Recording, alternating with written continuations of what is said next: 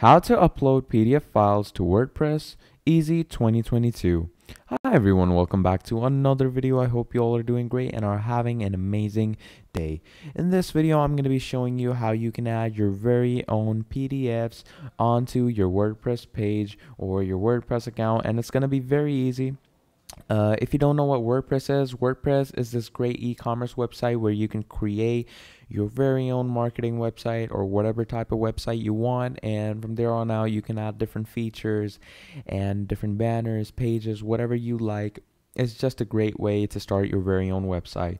Now, uh, I'm going to take you through all of it. It's going to be very easy. I'm going to set you up with WordPress. Uh, I'm going to take you through the whole tutorial, and I'm also going to show you how you can pinpoint and add a specific or certain any type of PDF you want.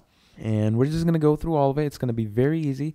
And make sure to watch this video throughout till the end and follow all my steps. And by the end of this video, you're going to know how to properly upload a PDF to your WordPress. So without further ado, let's get right into it. First of all, what we're obviously going to do is we're going to go and write in wordpress.com and we're going to get ourselves signed up and set it up. So what we're going to do is before we click on start your website, we're going to go on get started because you can't really add links without if you just go on start your website. So I'm just going to use a temporary email for now. I'm just going to go ahead and put it there. Put in any username you want to. Choose a strong password and once you do that you're just going to go ahead and create your account now it says that it asks you to choose a domain now obviously to choose a domain you're going to need to have to pay because domains aren't for free obviously it's obviously going to be free for the first year but then it's going to be $19 per year $22 per year and yeah there's just a lot of domains uh, the first one is obviously going to be free, so you can just go ahead and select that, or you can just skip it if you want to. Now, as you can see, that it wants you to choose a plan route. You can choose plans if you want to because there's the personal plan which has $4 per month, the premium plan which has $8 per month, business plan which has $25 per month, and then there's a proper e-commerce plan which is if you're like in a long-term business then it's $45 per month, which is billed around $545 annually.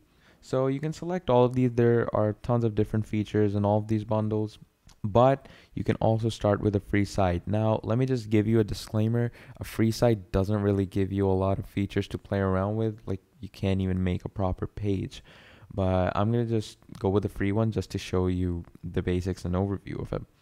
So then you're just going to tell your goals, write and publish, sell online, yada yada. You can just go through all of these you want to, or just skip to dashboard if you don't want to go through these right now.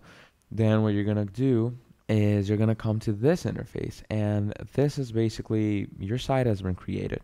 This is your WordPress dashboard. And from here on out, you're going to need to start making and creating pages and adding your whatever features you'd like to your WordPress. So, yeah let me just explain what all of this is. This is your uh, left side dashboard where you can see your main home, your statistics, your upgrades that you have, the inbox if you have any messages. These are your posts that you have on your page. So you can just go on all posts and now you can see we are blank right now. We don't really have any posts. So you're just going to go on add new post and uh, you're going to go ahead and add all different types of posts you have right over here and you can just add any title you like. For example I'm just gonna add something random. I'm gonna write e-commerce and then just write anything like I like to do online marketing. And from there on out you're just gonna go ahead and publish it. And that is how simple. And you can also go ahead and click on preview. You're gonna click on desktop preview a new tab and look at that. This is basically your website. Now, obviously, we don't have a proper domain. That's why it didn't open a proper website. But yeah, this is how our website will look like once it's properly properly made. Now, this is obviously a post. For a post to show, we need to create a proper page. Now, for the page, you're going to go back to your uh, main dashboard. For that, you're just going to go and click on pages. And when you're on pages, you're going to go and click on add new page and once you click on add new page, we're just going to wait for this to load up. And when it loads up, notice that in the free bundle, you can probably add up to one page. That's all you get because obviously it's a free bundle. You can't get everything. Now you can either make like just choose a template. Out of the templates it provides you wordpress does provide you with great templates so you can just use those. Or you can just start blank and have your totally blank canvas to work around with uh, well uh, right now this is all we need. So now what you're gonna do is you're gonna play around with the text play around with the photos if you want to and then you're just gonna click on publish and once you click on publish what's gonna happen is it's gonna create this page for you. Now what you're gonna do this is the link. You can just click on view page. If you click on view page look at that. This is our very own page. Now we can edit this page if we want to. As you can see it takes us to our edit but for now I'm just gonna go back here and I'm gonna add my posts. So to add your posts you again just go and click on posts and then you're gonna click on add new posts do the same thing I told you. And uh, once you've done that I'll I'm just gonna do it just for showing purposes. And do that. And I like marketing. From here on out we're just gonna click on publish and we have our site we click on publish and once we click on publish we're just gonna go on view post. Look at that. This is gonna be our post on our website. Now on to the main topic of the video and that is how you can add your very own PDF link or PDF button to click on on your website. So I'm just going to take you through that and just watch it through. It's going to be very easy. Once you've made your pages and your posts, now you're going to get into your PDFs. So just watch it through and I'm going to take you through it all. Now what you're going to want to do is you're just going to go on media. And once you go on media, you're going to click on add new. Now once you click on add new, as you can see, I have all these custom uh, PDFs over here. You can just choose any one of them if you want. Like I'm just going to choose this randomly. Now I chose this and this media is going to be added to my media in my WordPress dashboard. Now, obviously this media is added. Now you're probably wondering how will we take it to our page or posts? What you're going to do is you're going to go to your page or whatever you've published. You're going to click on it. And then obviously you're going to go ahead and you're going to want to edit it. So we're just going to wait for this to load up. As you can see, it loaded up.